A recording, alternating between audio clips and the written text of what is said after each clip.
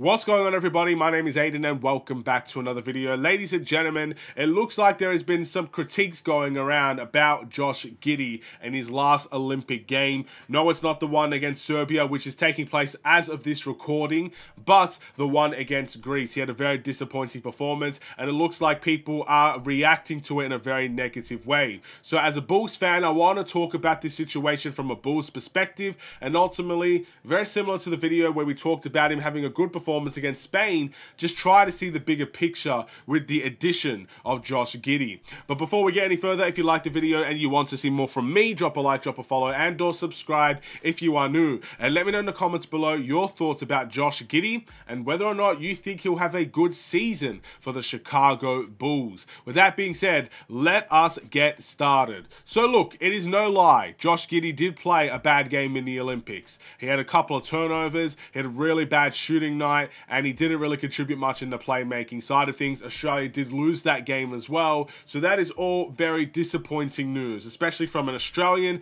that wants Australia to do well in the Olympics. To see them lose, I think they lost two in a row. Right now, they're winning against Serbia. Let's hope it stays that way. Uh, ultimately, of course, it sucks to see your home country kind of misrepresent or, or not misrepresent that's the wrong word but to lose uh, you don't want to see your country lose it's as simple as that but with that being said, we have to look at it from a Bulls perspective.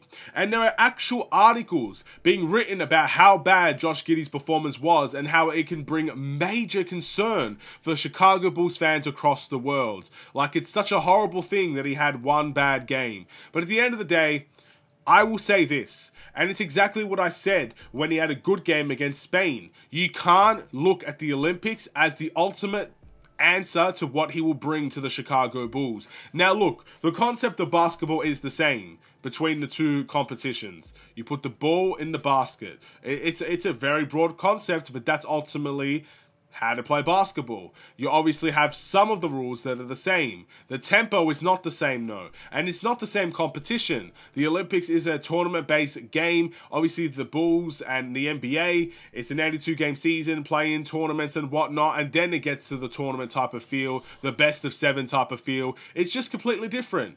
And we shouldn't be treating the Olympic Josh Giddey to the Bulls Josh Giddey. The ultimate answer to this situation is that we just have to wait and see what he can bring to the Chicago Bulls come September or October, November, December, and the rest goes on.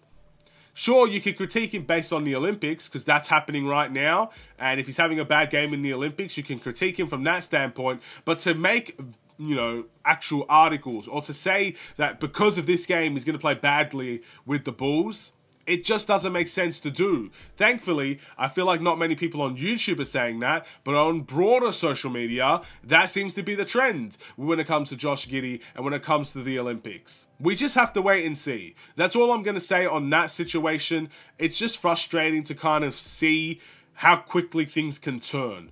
Last week, or at the at the end of last week, people were saying, oh my goodness, I'm so excited to see Josh Giddey, and he's going to be so amazing for the Bulls. And we had to bring it down a peg when it comes to that situation. Now you got this situation where people are saying he's going to play horribly for the Bulls, he's not going to make an impact, he's going to be shut out like he was in the playoffs, and all these things. And now you have to try and raise him back up a bit.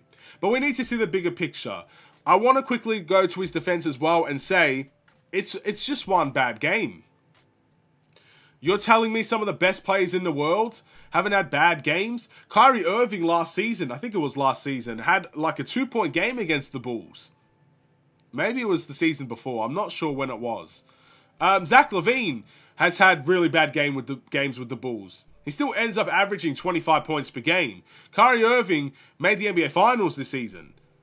They've had bad games. Everybody has a bad game.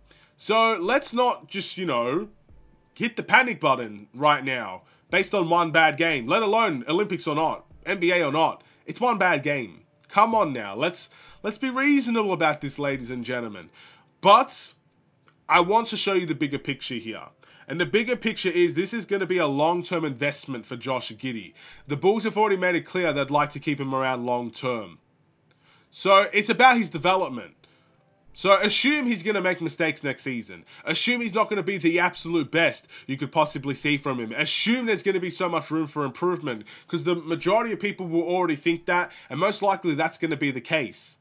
We are not signing Josh Giddey to be our best MVP caliber player next season. We are signing him for his development. We are signing him because we believe we could get the best development out there him out of him, and we're developing him for the long-term success. We brought him in for long-term potential, for long-term development, long-term success.